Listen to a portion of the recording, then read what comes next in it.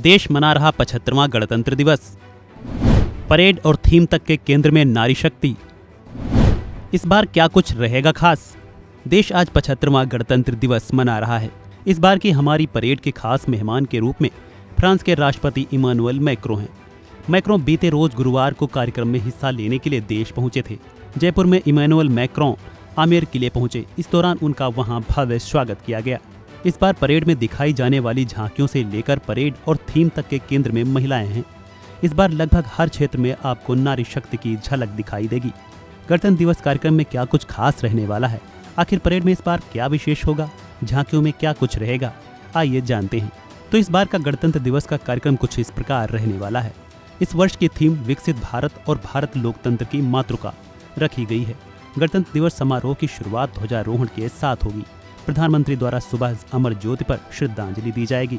वहीं परेड का समय सुबह साढ़े दस बजे से दोपहर के बारह बजे तक रहने वाला है।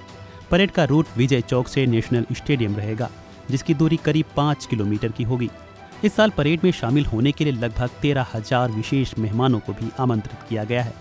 ये वे लोग हैं जिन्होंने सरकार की करीब 30 अहम योजनाओं का लाभ उठाया है।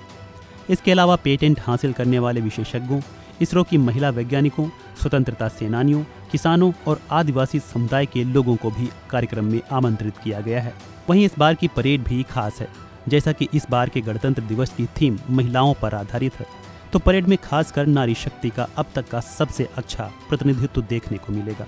रक्षा सचिव अरमाने की माने तो परेड की शुरुआत सैन्य बैंड के साथ होती आई है, लेकिन इस बार देश भर की सौ महिला सांस्कृतिक कलाकार पारंपरिक वाद्यों के साथ परेड की शुरुआत करेंगी। अक्सर सभी कलाकार और समूह सलामी मंच के सामने अपनी प्रस्तुति देते हैं। लेकिन इस बार एक और नई पहल की जा रही है, जिसमें केवल एक समूह ही सलामी मंच के सामने अपनी प्रस्तुति देगा और बाकी अन्य ग्यारह समूह अलग अलग अपनी प्रस्तुति देंगे। इसके साथ ही इस बार पहली बार तीनों सेनाओं की एक महिला टुकड़ी भी मार्च करेगी। केंद्रीय सशस्त्र बलों की टुकड़ियों में भी नारी शक्ति की झलक दिखेगी। इस परेड में 48 महिला अग्निवीर भी हिस्सा ले रही हैं। परेड में इस बार 16 राज्यों और केंद्र शासित प्रदेशों की झांकियाँ दिखाई जाएँगी, जिसमें उत्तर प्रदेश, अरुणाचल प्रदेश, हरियाणा, मणिपुर, मध्य प्रदेश, ओडिशा, छत्तीसगढ़, राजस्थान, महाराष्ट्र, आंध्र प्रदेश, लद्दाख, तमिलनाडु, गुजरात, मेघालय, झारखंड और तेलंगाना राज्य शामिल हैं।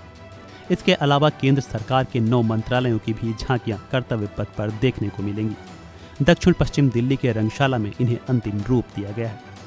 लद्दाख की झांकी में आइस हॉकी खिलाड़ियों को जगह मिली है। तो वहीं हरियाणा की झांकी में राज्य सरकार की मेरा परिवार, मेरी पहचान योजना को जगह दी गई है। राजस्थान की झांकी में यहाँ की संस्कृति के साथ साथ महिला हस्तशिल्प उद्योगों के विकास का प्रदर्शन होगा। इसके साथ ही मध्य प्रदेश की झांकी में महिलाओं की आधुनिक सेवा क्षेत्र को लेकर लघु उद्योग और पारंपरिक क्षेत्रों तक में सक्रिय भागीदारी देखने को मिलेगी। ओडिशा की झांकी में हस्तशिल्प और हथकरघा क्षेत्रों में महिलाओं की भागीदारी दिखाई गई है। छत्तीसगढ़ की झांकी बस्तर से आने वाले आदिवासी समुदायों में महिला प्रधानता को प्रदर्शित करेगी।